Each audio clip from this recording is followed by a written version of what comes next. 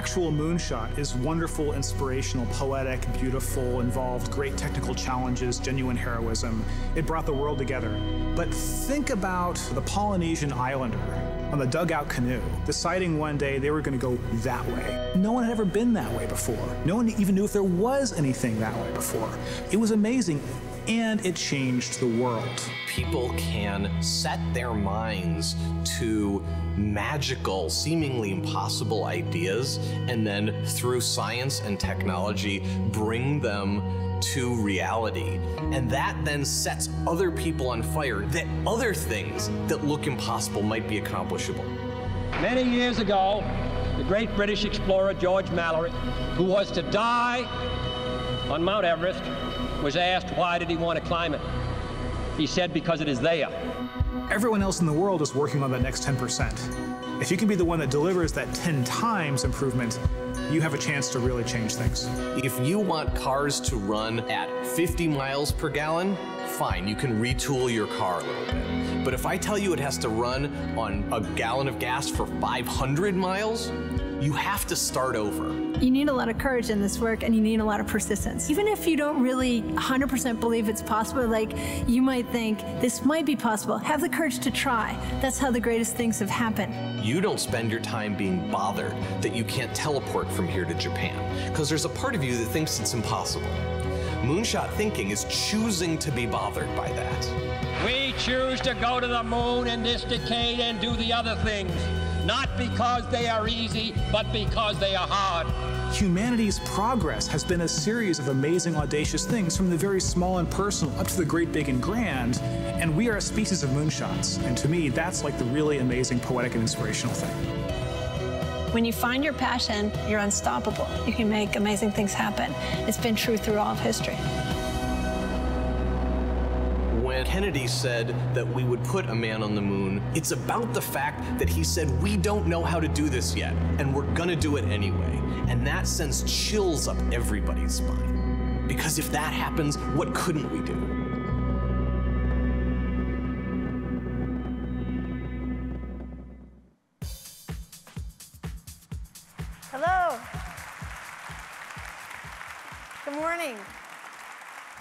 It's incredible to be here. I, I can't believe how many people we are. Um, I was lucky to be at Grace Hopper in Arizona.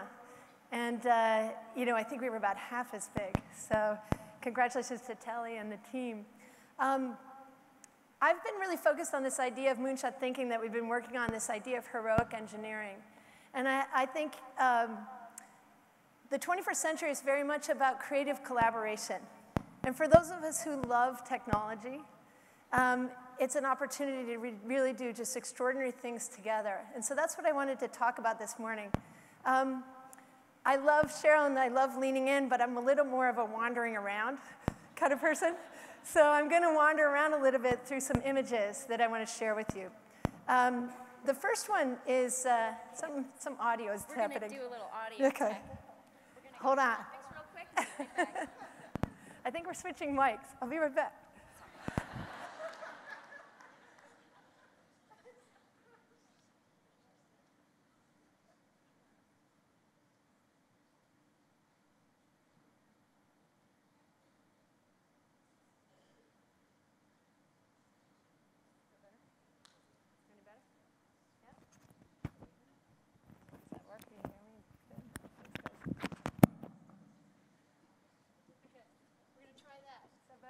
Yes, no?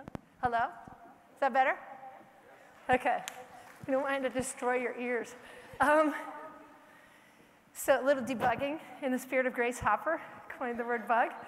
Um, this is an incredible image, and I, I wanted to start with it because I suspect there's some people in the room who were at the first Robotics Nationals. Is that true? Yes? Anybody? Shout out. Yeah, I hear some claps. So this is uh, in St. Louis um, in the spring at the end of the first robotics championship, which is the high school championship. And to me, it represents what I'm talking about at the beginning, which is passion, obsession, and love of, what, of technology and participating together. Um, if you look at this, it's 20,000 teenagers in a stadium. It could, might as well be Friday Night Lights for how they're behaving. And in fact, Anita Borg would love the dancing that they're doing in the corner. Um, but it's about robotics and technology and this amazing science competition. And I think that one of the key things for all of us is, is finding our passion. And for those who love more of this technical side, and for everybody to have exposure to that, to really make things and feel the power of what it is to invent and build and change things. And in this case, uh, practicing for this really exciting contest that then goes on to drive astonishing careers. Um, I wanted to reflect also with young people. This is a, a photo from our son's third grade class. And I love this teacher, uh, Laura, who has on the screen this in effort, there's joy. And we know that technology is hard work, but there's joy if you stay with it. And so teaching children, her whole focus in the third grade is how can she, yes, she has to cover this content, but how can she instill in these kids the feeling that in effort there's joy and there's amazing wonder in the world and there's amazing service and contribution. I wanted to highlight one of my heroes, George Washington Carver, because to me he embodies what I'm talking about today, which is this incredible passion. You know, he was, as a, as a baby, he was, he was born a slave, and he faced extraordinary adversity. He was actually stolen, and his mother and his brother, um, as a child, and he was returned, and his mother was not. Um, he just loved plants, and by the time he was 10 or 11 years old, they called him the plant doctor. He could just, he was just powerful, and he loved what he was doing and just kept going with it. And there was a moment in his life where he was invited by Booker T. Washington to go to Tuskegee University. And when he got on the train from the Iowa, Missouri region where he's from, he, as he traveled, he could see the American South and how devastated it was as a monocrop culture of cotton. And he could see the malnutrition in the people. And what he did when he got to Tuskegee is he created this extraordinary lab of heroic science, heroic engineering, and invented all of these amazing products that could come from the peanut and the sweet potato. And then they took it on the road. You see the Jesup wagon here, which was their uh, evangelical way to go teach farmers. And I just, I love him because not only does he embody just passion and love of what he's doing and really driving for that, but also just really service, deep service in humanity, and really saved us as a country from uh, this monocrop culture that we were faced with. So, flipping into my own experiences um, and how I got into some of this, one of the things, since we have so many students here, I thought I'd think a little bit about some lessons learned. Um, I was really lucky as I, I had uh, on my resume, my dad, my dad used to tease me because all the way through he said, the only word that matters here is at the bottom, it says adventure. And so I love to do all kinds of things. And when I was a freshman at MIT, I got the chance to work with the Space Systems Lab. And it was a, a, summer job to work in the machine shop.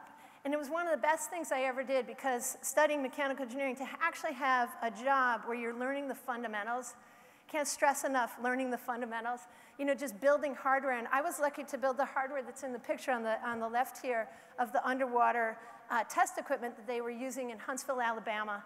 Um, this was in the 80s, and, and people were getting ready to build the space station. And you couldn't have astronauts with pressure suit gloves do standard construction, you know, with hammers and nails. So how were we going to build this? And what would an astronaut, you can see in, in the space picture there later when the project flew, how would they be able to assemble things, assemble all these things we were sending up? And so this was all of the hardware work and design uh, to help get to the point where we could test what humans were capable of doing in space so we could actually construct the space station. So the two lessons that I came out of this were just as a young person being involved in a project like this was so extraordinary. And people I say life is who you travel with. So just encourage you to find astonishing people and hang out with them.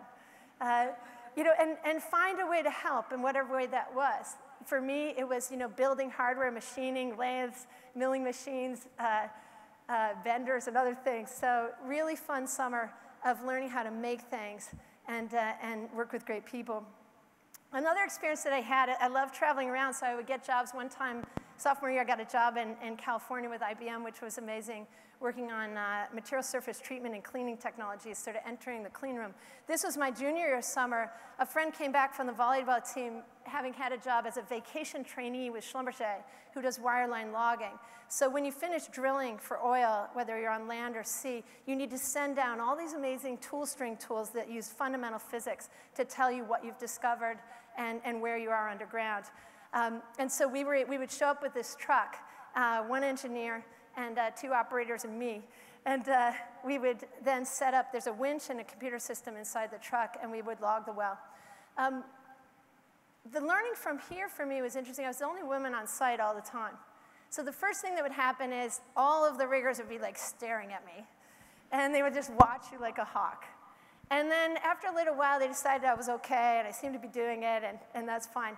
And then an interesting thing happened, which was a couple hours later, they'd all show up. Lots of people like, can I show you this? Hey, have you seen this? And it actually became an advantage to be a woman on, on site because uh, I got to see things and, and experience things and find out things that I wouldn't have.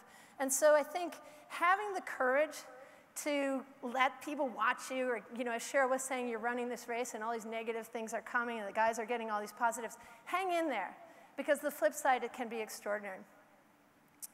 Um, I talked a little bit, you saw the video about moonshot thinking. What we mean by that is solving huge problems, often with things that sound like science fiction breakthrough technology and figuring out a radical solution for that. The website that we launched for that is called Solve for X, and it's really, we partnered with TED and XPRIZE and Singularity, lots of people who have these kinds of videos and proposals up there. so I encourage you to come up there. It's a place to kind of share ways that we might uh, solve problems in our world.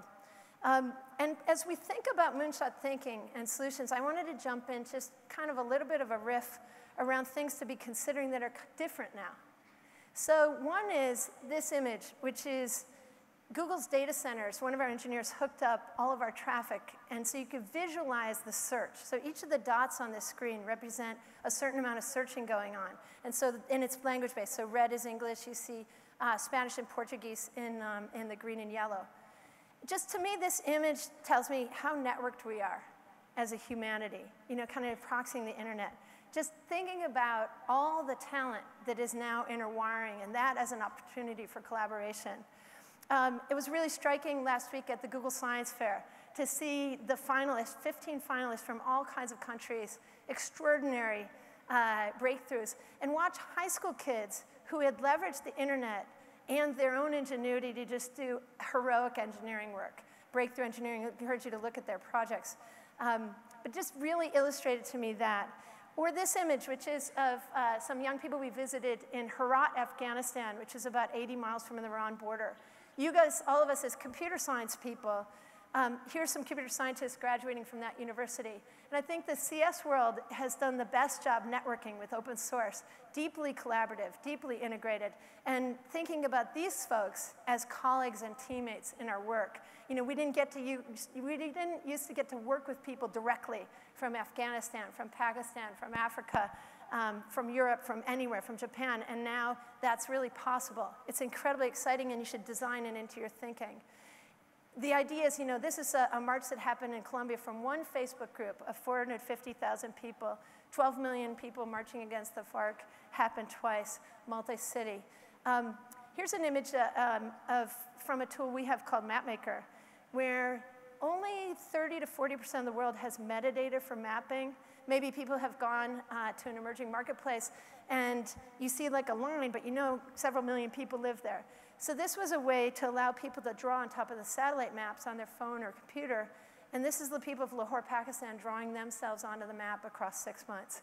So thinking about the knowledge of all of us, kind of a Wikipedia-like thing, and the activity on that tool, just to crowdsource that and make that available. This is so important for commerce, it's important for ambulances, it's so important to know our geodata for each other.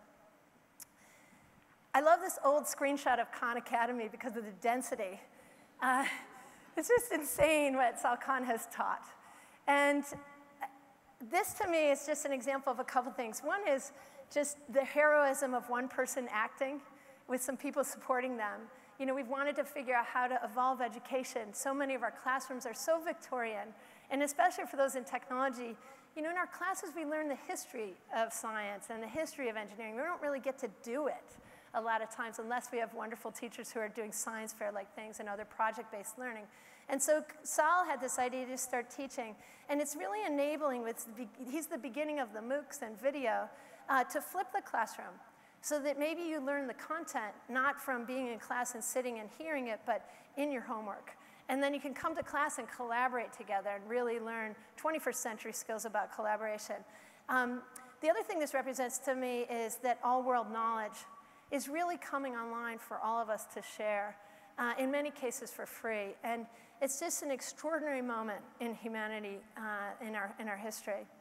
Um, also, just thinking about the web not as a content place, but where we all are. These are computer science teachers, and we were able to bring them together. Uh, the amazing STEM team at Google collected uh, this group, it's called CS for High School, and they flash mob together and work on curriculum. And now they have an online community of about 1,200 uh, computer science teachers and just collaborating on making it more exciting, more interesting, engaging, and the kind of work that Maria, Klawe talked about with the MOOCs. Um, so very exciting to think about the talent that you can aggregate to work on things. And this is in the most extreme case. Uh, this is a wonderful extension of the one laptop per child type work. Um, this is Ethiopia. It's a project where there's about 50 to 70 million kids who have no teacher. They won't have a teacher. It's just not been something we've solved yet. And so this is an experiment to bring just simple tablets to those kids and see can they teach themselves until later when the web and the network comes that then you know all of us can come there. I like to put them on the screen together with the other kids who won the science fair last year because the two boys are from Swaziland. Uh, Brittany's from Florida in the middle. And someday these kids with the tablets will be those kids. The, kids are almost reading it. Uh, Maria, or Maryanne Wolf, who's the faculty member from Tufts here, expert on reading, feels like it's like that Helen Keller moment where they're just about to decode it. They can sight read words. So it's very exciting breakthrough. For myself, I have been lucky to work with Malala Yousafzai and her family, the young woman who had an assassination attempt on her uh, by the Taliban just about one year ago, I think next week. Um, she is well. She's in uh, Birmingham going to school. Uh, her favorite subject is physics. And uh, she's actually taking physics, biology, and chemistry. I'm like, really? Um, right now, all at once. Uh, but just, I talked to her father about these kinds of projects because as we think about you know, her position as an advocate to push, it's not only pushing for schools, but new innovative great learning and new methods and new ways to access each other. And we talk about Swat Valley, where she's from, and the kids in the mountains who have a teacher one, maybe once a week, and the opportunity of this kind of technology to change their lives. Um, climate change and global issues, sensors. This is uh, some imagery of Landsat satellites. Um, and so thinking about moonshots where you were using big data. Here's an image from Brazil from 1975 down to uh, 2001 of logging roads coming in. So using big, big data and technology and innovation to get ourselves out of uh, the situation that we're in um, and, and help evolve. The Google Earth team took the Landsat satellite imagery that's been sitting on shelves, you know, petabytes, and just spun it up, and now various researchers are able to begin to work with that data set, which is very important. Okay, so when I spoke three years ago, I talked a lot about Africa. And so I just wanted to give a little update. Here's the image that I showed before about how networked we are. And here's an image from a couple years ago of how networked some places are not. You can see that this is not a time of day issue that the continent of Africa is not on the web at scale. Because you can see Europe is, is on fire with all the different colors. French is in blue and Spanish and German, et cetera. It's a lack of connectivity and there's 900 million people here. Um, this is an image from as, as late as 2005. You can see that the, the light line on the right-hand side of the continent is a planned cable. Not sure why we have a continent without an undersea data cable, or many of them. On the other side, you see uh, the cables just ignore whole populations and whole countries. The update that I want to give you is that this is what it looks like now. And so it's really changing. And our colleagues from Africa and from many of the places that have been kind of off the grid are joining us in global innovation. And it's just an extraordinary change that's happening. I just grabbed a couple pictures of, of some of the things that are going on there. At the bottom, you see iHub Nairobi, one of the great start centers. Uh, and just, you might as well be south of Market in San Francisco or in Silicon Alley or in London or in Berlin. Um, here we are in Nairobi. And across Africa, these kinds of spaces are, are emerging. So our colleagues are joining us. Uh, David Sengeh, who's a friend at the Media Lab, PhD student in the, uh, in the robotic legs team, um, is mentoring kids. He's from Sierra Leone, and he wrote a blog post saying, Aid to Africa transforms to Made in Africa. Um, Eleni in the middle is uh, started a, an amazing commodities exchange in Ethiopia. Um, and on the right is Fab Lab. Uh, there's a great faculty member named Neil Gershenfeld at MIT who teaches a class super popular called How to Make Almost Anything. And it started a movement of these Fab Labs. And there's, uh, they're in 34 countries, uh, 200 of them from Afghanistan to Detroit. You can see on the map, they're all over. And these, this kind of the maker movement. And so our colleagues from Africa are joining us not only in the tech movement and the maker movement, and we're going to see extraordinary change there. And also on the NGO side, one of the things that's most exciting to me, in the Silicon Valley way, things don't just happen, people do things. And so when a venture capitalist wants to hear about a new idea, they're not making up the idea, they're open for business. They're open for talent to come. And it begins with the angel investors and then eventually venture capital. And so what I love that's happening with the network is instead of the older way of doing development, which in some way Dambisa Moyo wrote a terrific book called Dead Aid, uh, that comes in more of a missionary way to bring ideas and try to help. It's very well meaning. But it really doesn't respect the social fabric, the, the entrepreneurial fabric of the country. So I sometimes think of it like, um, you know, in here, this is a, a, wonderful nonprofit called Carolina for Kibera, where Rye Barcott from North Carolina student just started working with these fabulous entrepreneurs in Nairobi, Tabitha and Salim, um, to, to do this incredible work. This happened to be in um, the Kibera slum. It's an extraordinary nonprofit where those entrepreneurs are lifted with their ideas with the North Carolina folks helping underneath them, angel investing. Sometimes think about it like the American Revolutionary War. In the American Revolutionary War, the French didn't think of the war, they didn't really fight the war, but they were our teammates, they were our angel investors. And so these extraordinary Americans who created the United States um, were supported by uh, the French, who not only gave money, but also gave the help of General Lafayette and others. And I think that model of thinking about change in other countries is really about being more like the French, if you're not from that country, and being more like you know, the country's founders, if you are, act and then get support from outside. This is an update. I, I asked some of our data center folks to share where we are as a world in our connectivity. And so some of the colors in the bottom, the red and the green, the yellow give you a feel for broadband coverage in Asia, um, Africa, Europe, North America, South America, and tiny Oceania because it's population based. Um, and then you can see we get into wireless and dial up. And then really how many people are still to join us. So just want to reflect on that as an industry and how much more work we have and how much more opportunity we have to collaborate with the creativity of all these folks who will join us, which I think is very exciting. So staying with the theme of networks, um, on the top is, of course, the Silk Road. And you think about the amazing innovations that happen in the commerce and other things around the Silk Road, but it's also very famous for the social innovation and the interconnection of ideas that happened. I'm from Buffalo, New York, so I have to shout out to the Erie Canal, uh, which is on the bottom here. Um, but I bring it up because it was a very important network it was an important commerce network. It dropped, people thought that uh, Governor Clinton, they call it DeWitt's ditch, uh, was crazy to build it. But he did, and it dropped the grain price by a factor of 10 to get goods out of the center of the United States and bring goods for the development of the United States. Very, very important network innovation. But the other thing that happened on the Erie Canal was extraordinary civil rights work, where people were suddenly talking to each other in a way that hadn't been happening before, and they were able to start to collaborate and uh, one of the ones that is amazing that um, I want to reflect on quickly is uh, Seneca Falls. Uh, in President Obama's State of the Union address, he mentioned um, Seneca Falls, Selma, Stonewall. Seneca Falls is the place where Elizabeth Cady Stanton, Lucretia Mott, and others gathered to create the first women's rights convention. Um, how many people in here have ever heard of the Declaration of Sentiments? So we're more people, but it's the same kind of thing where for some reason, people don't know this document, and, and it's like this in women's history. Often we don't know our history, but this is an amazing document where they just were declaring for our rights. Um, so thinking about the, the network that caused them to be able to meet. In fact, Lucretia Mott and Elizabeth met in England because they were working on uh, abolition. It was an abolition uh, anti-slavery conference. But the men in the room decided the women wouldn't be allowed, so they kicked them out and sent them to the galley to not be able to speak. So they met and they decided to collude. And they started to work on the beginning of our rights. I wanted to frame that in context of where we are now, because a lot of people, you know, in the bottom left, there's, there's Elizabeth delivering the declaration, call that the first wave, the, the time when women went um, from, from sort of being considered property, not being able to go to university, having no rights, lose your children if you divorce, et cetera, to really um, the 19th Amendment and the beginning of the vote.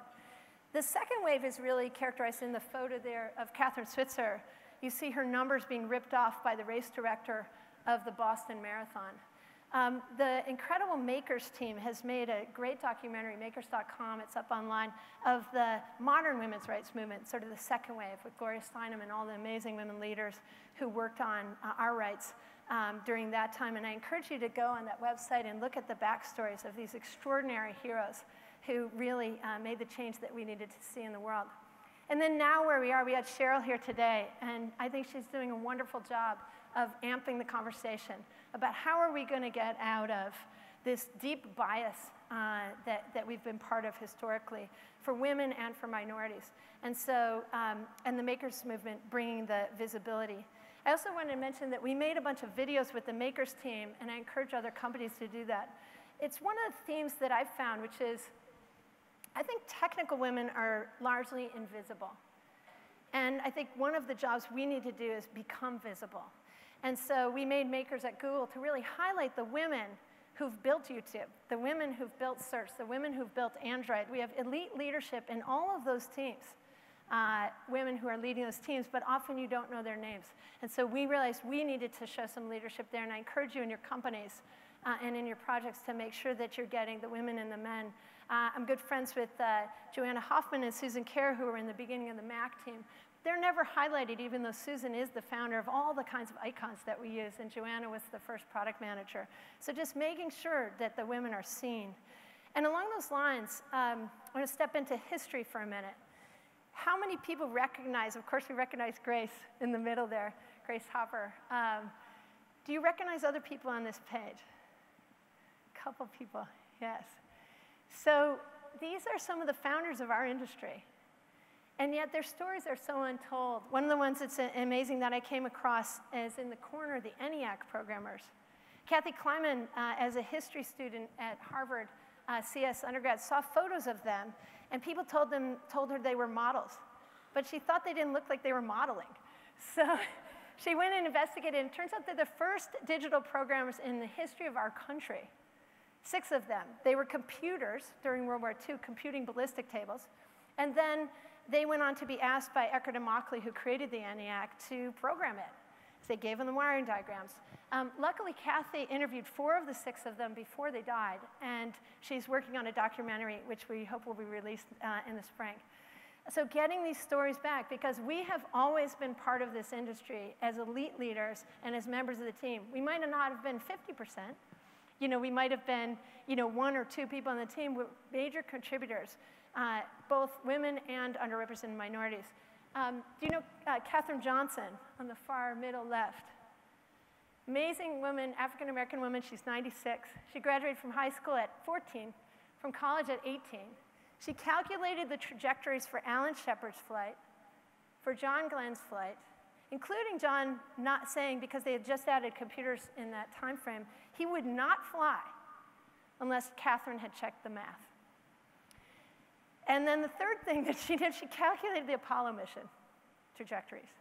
And I think it's astonishing that this amazing elite mathematician, I didn't know about her. We don't know about her. She has one of the 300 flags from the Apollo missions. I mean, she's in the team. We need to know about these people who've always been there. African American little girls need to know about her. All of us need to know about her because it teaches us what inclusion is. Not only does it make better products, better teams, better things, and how we should be, and it's fair, but it's always been true. And then uh, just to highlight a couple more, Bletchley Park in the middle, I encourage you if you're in London, take the train out and see this extraordinary place where the code crackers uh, cracked the codes of, the, of uh, the Enigma machine during World War II. Half women, Rosie the mathematician was there. Um, and in fact, it's one of the most profound diversity stories in history because you have the Nazis who've decided that a particular kind of person is better than others and they have their perfect machine. And then you have this like Steve Jobs commercial of the motley crew off at Bletchley. You know, Alan Turing is gay, he's not out. And you've got uh, the women and men and this crazy group of people and they win. You know, and they win. And they crack the codes and they shorten the war by two years and save 11 million lives is the estimate. Hedy Lamarr with wireless innovation, some of the work at MIT. Did you know that there was an astronaut corps of women Astronauts are some of our most celebrated Americans, and we don't know about the women. We need to know about them. We need to resurrect their story. And at Google, one of the things we've been doing with friends and colleagues from other companies and, and universities is just resurrecting these stories. So we launched a thing called Women Tech Makers, which I'll talk about in a minute a little bit more. But um, including past history work that we could do.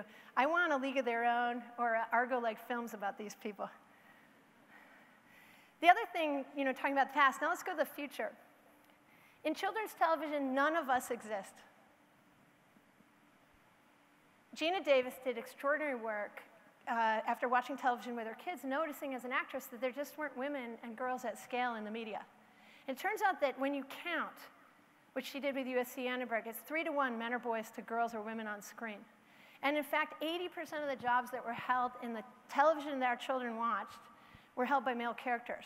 There were a lot of princesses uh, that were women, but not a lot of computer scientists. And so we launched a project with them because the way that USC does this is a very, a very sophisticated counting system, but the grad students are counting by hand, and we want to do this digitally. We want to tag the voices and run this through a, a more real-time measure with this media. If people are interested in this project, come talk to me because Geena's looking for more computer scientists for it. But we need to change what children see because they need to see the truth. They need to see that we exist. Um, and then coming to the present, uh, we all need to be more visible, as I said. And one of the things we were doing to try to have some leadership is in a platform we have where at Google I.O. we have thousands of programmers from our industry and a million people in live stream. What could we do to make sure the technical women who are doing our work could be more visible? And I encourage all companies to do this at your public corporate events. Um, Johanna Wright, an amazing vice president leader on the technical side in search and uh, in Android, was on stage with some other women. We got a tweet off the New York Times that said, three women on stage at Google I.O., tech company first. And I reflected on it and I thought that could be sort of true. There's something wrong with this. Um, we did some speaker training where we taught all the speakers about ambient bias, and I'll show you a slide about what that is uh, in a second. But making sure people knew that if they only show photos of Star Trek and, and all these images of science fiction and only men and cats, that maybe the women wouldn't feel as included and just being more, less biased in how our slides and our conversations are happening when we're on stage. We also had a fabulous event towards the end of the day, a one hour super session where we, instead of having another panel about why we need more women in technology, we just decided to bring it. And so we put extraordinary women on stage, and they did 10 minute lightning talks about their amazing careers and their amazing work that they did. So some of the women are on stage there. Um, and then we also created community at the event. We had a pre-event, and we launched a thing called Women Techmakers, and so people are doing the little bits stuff just to make sure the community of women at I.O. were connected to each other, and then continued to work on that. So I encourage everybody, and we, we continue to do the Women Techmakers to, to um, do this at your events. Just to touch on one other thing we're doing, I really want to shout out to my amazing colleagues in the diversity teams and across our company because people have been doing great work on hiring and outreach. And we stand on the shoulder of shoulders of giants like IBM and AT&T and others who really have innovated this work over the last decades. And we're really pushing the edge here. One of the new things this year was to really work on training ourselves about unconscious bias. This is uh, one of the examples from our work where we, um, this is ambient belonging. And like I was saying, I wanted to share because it was one of the ones that we trained for I.O. They took um, students at Stanford and a couple universities who were interested in computer science. They brought them to the computer science department, and with certain groups, they put a set of stuff on the wall which would be traditionally associated with more of the programmer culture. So science fiction and gaming and certain kinds of hardware.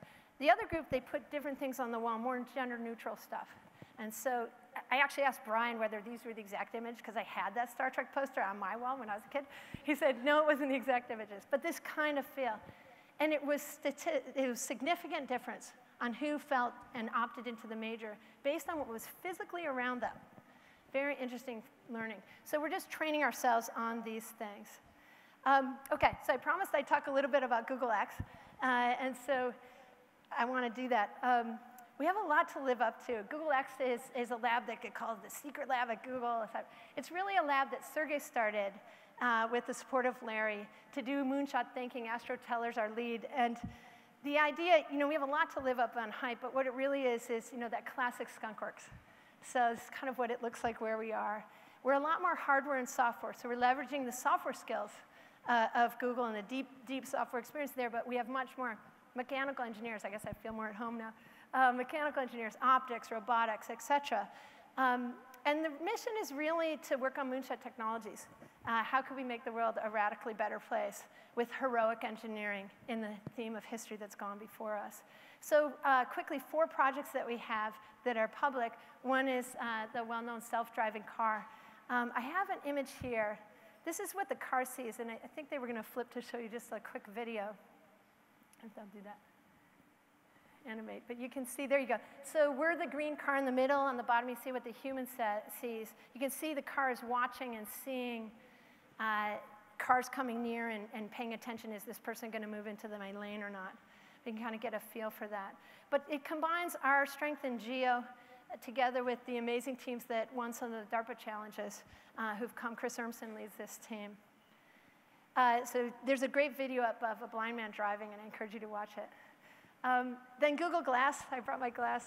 Um, Jean Wang is here, who's one of the amazing hardware designers, uh, leadership uh, on Glass team, and she has one of those lightning talks, so if you go on Women Techmakers, you can hear her.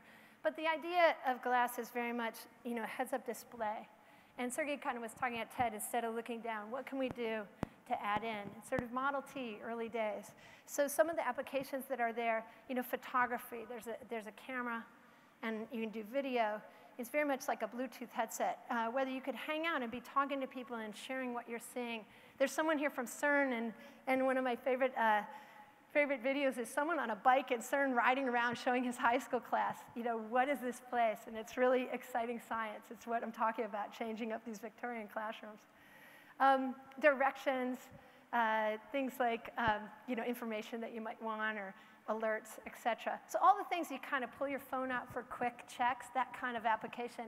And we're really excited because now there's not only explorers like the CERN person, but also wonderful developers who are now writing apps, and we'll see where they take us. Um, there's also a very cool video up that's about, I know I won't play it now, but about what it feels like to wear glass and that kind of experience. Um, some people saw Project Loon. You know, as I mentioned, Life is Who You Travel With, uh, one of my friends on the solar car team who was on the General Motors team, Mike Cassidy, is actually the leader. So I've found, and you will find in your careers, you know, you end up sometimes tripping into and connecting with some of the same people who are extraordinary friends uh, in this innovation world that we live in. Project Loon is an idea to bring the internet um, to the very rural edge case places in the world that don't have the net. The idea, and there's a video up you can watch, but it's really above the planes, above the weather, to fly balloons, which are way less expensive than satellites, and all the, the work that we need to do um, on the plumbing layer. So how could we more quickly um, get network to people? So sort of 3G connectivity where the balloons talk to each other. We have a mission control that they, they sail, they kind of fly. Turns out in the stratosphere, the wind is not prevailing westerly. So you can move up or down and decide to go different ways. So really exciting project. Um, and then uh, the launch first was in New Zealand. There's less countries around the world that way, so it was a good place to start, and we hope to bring it to many more countries. And also the fourth project, uh, some, it's uh, maybe a little less known, but we acquired a wonderful company called Makani Power that does kite-based windmills. So if you imagine a windmill, but where you take the stick and you remove that and you're flying it as a kite and generating power much higher up where the winds are stronger and more constant, try to get the efficiency of wind down. And then I mentioned SolveFor-X, which is more of our 20% sharing project to collaborate on moonshots. Um, from a field perspective, we wanted to be like the Willy Wonka labs. It should be fun where we are. We love what we do, and we should collaborate well. Uh, sometimes we call it Peter and Petra Pan. So these astonishing people um, who have just done incredible work. Maybe sometimes we call it venture academia. Many of them have been academics and collaborating to get these projects shipped, adding entrepreneurs and resources to them. We think 10x, not 10%. And we also have a philosophy, we use this in, in the SolveFor-X brainstorming, took it from improv, which is how can you help build on an idea? Be two thirds yes and, one third yes but. So you still need critique, of course, in everything, but spend less of your time pulling down the idea, more of your time building up. And so it's ideas, prototypes, very much design thinking like process uh, to get products out the door. Um, and I guess I, will end, and, and I want to move to questions with uh, this idea of what's your X, which I was really lucky to take acoustics from Professor Bose, um, the incredible uh, acoustics um, innovator. And sadly, we lost him recently. Um, and he was always saying to us, you know, you guys, You guys are uh, doing great. You're doing all this work. The most important thing for you to do is find your passion. If you find your passion and you combine it with this kind of work, you're unstoppable. And so I encourage everybody to go for that, and I hope you'll join on the heroic engineering. And thank you.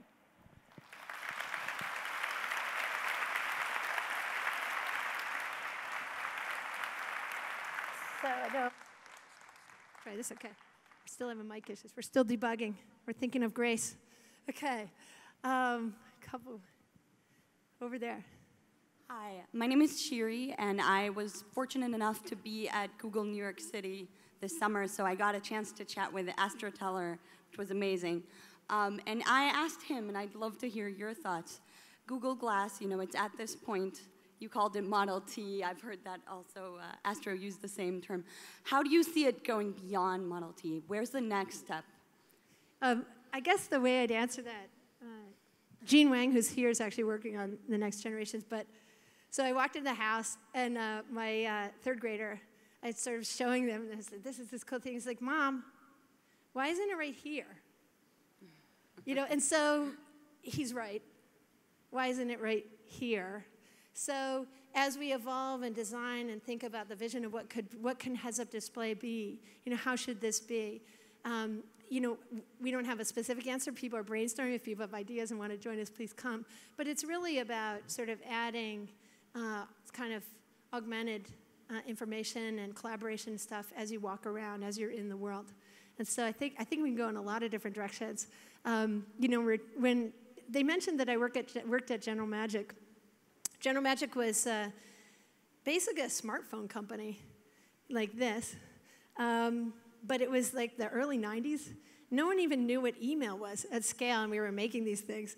And at one point, uh, we were really lucky because Andy Rubin, who did Android, and Tony Fadell, who did the iPod, were both with us at, at that company as well as amazing other folks. So we had the right idea, but it wasn't time yet. Um, and in, in, that case, I remember the CEO of Motorola sending us an actual brick in the mail because our stuff was so big, and we were partnered with them. But, but I, th I think you know you have to start somewhere, and so we're really excited about where we are because the stuff that all of us have been trying in the labs for many, many years. I was at MIT when this guy Steve, who was a grad student, just started being on the internet constantly. He had a uh, he had this cap and a backpack and all this stuff, and he'd walk around and he was always online and experimenting with what did that mean? What did that mean for privacy? What did it mean in all the different dimensions? And that was then. And now we're at a point where Isabelle, who's the amazing designer of, of glass, is able to make something quite beautiful to the level where Diane von Furstenberg put it into the fashion shows. I mean, that's really exciting. So we're at that point. That's why I feel like it's Model T as opposed to kind of still in the prototype lab. We're ready to start scaling, but it has much headroom. And I hope people in this room will be part of inventing, you know, where, where it's going to go, which I think is very exciting. And for my son Alex to get him one that's right here, he doesn't have to have on in whatever way he's thinking. Thanks. Thank, thank you. Yeah. Hi, uh, my name is Sana Odeh. I'm a professor of computer science at New York University, and I'm actually also the founder of Arab Women in Computing. So I'm really honored to be here today as part of Anita Borg and also to have Arab Women in Computing represented. Yeah. Uh, so I wanted to really thank you so much for your incredible work and also uh, speech today because it also brings in the international dimension and collaboration. And uh, yesterday, I think the international part was in the discussion was a bit missing because as we talk about the problem of bringing women into computing, um, I just want to mention that this is really not an international phenomenon across the board, that in many countries, uh, women are embracing technology in the Arab world, in many countries in the Arab world, in Turkey, the women are the majority in the classroom. So we need to think about that because it also helps frames that this is really not a gender issue for those who like to frame it that way. It's a, also partly cultural issue. Mm -hmm. And also on the other level is how we hear, um, you know, from all different um, um, background, try to reach out and try to retain the women who are in the classroom sitting all over the world but they're not retained because they're not, there are no role models or no scholarship or no opportunities to also reach across the border and try to mentor or try to collaborate the way you are collaborating in an innovative way in an amazing, you know, futuristic way. So really thank you so much. And my question to you is that uh, what is your lab doing in concrete ways to actually reach out across borders and to try to get people who are innovative and into the work that you are doing? Yeah, it's a, it's a great question. So first off, thank you for, for founding Arab Women in Computing. Um, at uh, Google I.O., there are wonderful teammates from Saudi Arabia and all kinds of places, uh, women who were there. And, and uh, so I think, A, that world is rising. Um, also, uh, some colleagues went to visit Iraq, and I remember they were saying at the University of Baghdad, I think half the faculty is women, half men. So, as you said, certain parts of the world are much more balanced, and women are in technology, and part of it is keeping people into careers. Um, I think that uh, the work, uh, two things. One is um, just in general, I noticed that if you went back, you know, 10 or 20 years, our colleagues from a lot of countries wouldn't be at conferences. Like here at Grace Hopper, we have people, Telle said, from so many countries. Uh, I met some folks from Nigeria yesterday. I know people from many, many countries here. And so I think we're just starting to interwire not only digitally but physically and collaborate in ways that's really extraordinary. In terms of our own projects, we have the, the Google X team comes from everywhere. Uh, Mohammed Gawdat is, uh, was most, is Egyptian, was most recently living in Dubai running uh, the business side of a lot of, um, you know, just speaking as someone from, from the world, um, business side of, of a lot of Google's general projects and moved over to join the Loon team.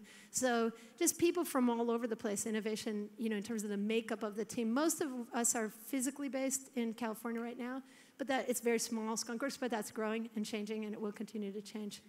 Um, but I really, um, I really uh, want to applaud the inclusion ideas that you're making, and it's, you know, there's talent everywhere and our job is to figure out how to pull people in.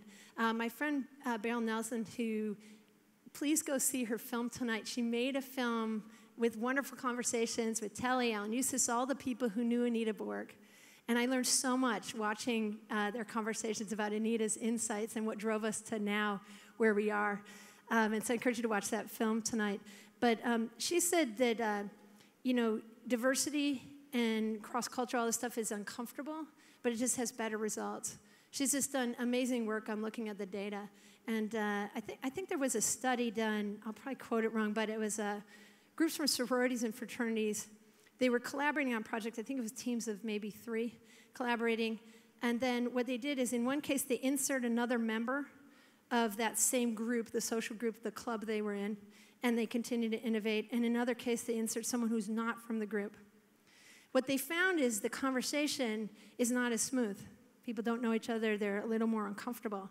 But it turns out that the result of the groups that were from the same group, even though they had sort of a smoother conversation, the result just wasn't as good. And then the people who had the different person come into their group, and it was a little rougher to figure out how to work together, came up with a much better solution. I'll try to figure out, and we, i am gonna, I think I'm doing a blog for tomorrow, so I'll try to put that in there from Beryl. But your point is well taken. Thank you. Thanks. I just want to make one more point. Sure. That um, our table topic discussion today is uh, the Arab Women Computing at 12:45. So if you're interested in mentoring or collaborating, please join our table. Thank you cool. very much. Actually, can we bring up the slides? I want to show you an image that I didn't have time to get to, but I want to show you that um, if you guys have, I don't know, backstage folks. So just at the end here.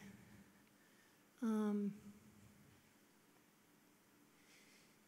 one of the things that made me start working on uh, things in the Middle East was uh, talking to Ron Garan, fabulous astronaut. He was on the space station with a good friend of mine, Cady Coleman from MIT. They were up for about six months. And he said the only thing the astronauts can really see from space that people made is this line right here. See the orange line? This is the Pakistan India border. And when you're an astronaut and you go 16 times around the planet and you see this line, you don't see politics and issues. What you see is there's sort of a cut across the earth. They think of it as like a knife of light, and that people are in pain. That's how they feel from space.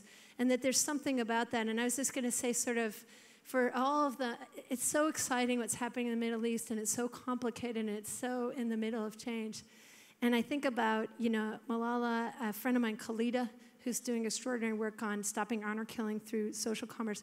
Just the entrepreneurial talent, the wonderful talent uh, from the Arab world, from the Central Asia world, that hasn't always been in the same conversation with everybody and how that's shifting. And so I reflect on this image as a guiding principle to go work with top talent from this world, angel invest with my time, um, and bring resources to people who have extraordinary ideas for how to move these worlds forward into the conversation that we all want to be in that's a peaceful future. So thanks. Thank you so much. Hi, I'm Okay, I, I'm said last question. Okay. Yippee! Um, I'm Stacy Branham. I'm a graduate student at Virginia Tech. And I noticed that you are the second keynote speaker to drop the F bomb. I mean, the word feminism, um, or at least allude to it. Did I swear? Kara's known for swearing. I'm not known for swearing as much. but yeah. And I applaud you. Um, it's lovely. And I actually have two questions. The first, if you'll indulge me, I'd like the audience to show their hands if they identify as feminists from Feminist. any gender. Do you identify as feminist? Wow, lots and lots of people. And I I, was think at least two-thirds. If the speaker could tell us if she is a feminist herself, and um, whether, why or why not, and whether or not you think attendees of the Grace Hopper Conference ought to be as well. Thank you. Yeah, I think I think feminism is a form of humanism. So I'm definitely a feminist. It's about equality.